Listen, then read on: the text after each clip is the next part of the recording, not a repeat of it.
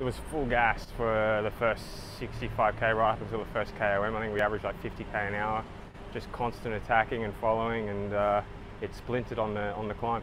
Yesterday the break survived to the end, so we really wanted to get in there today, but uh, we we sort of missed it the last couple of days, and it's it's been really fast and it's pretty crazy racing in Asia. Uh, the stages aren't aren't that hilly.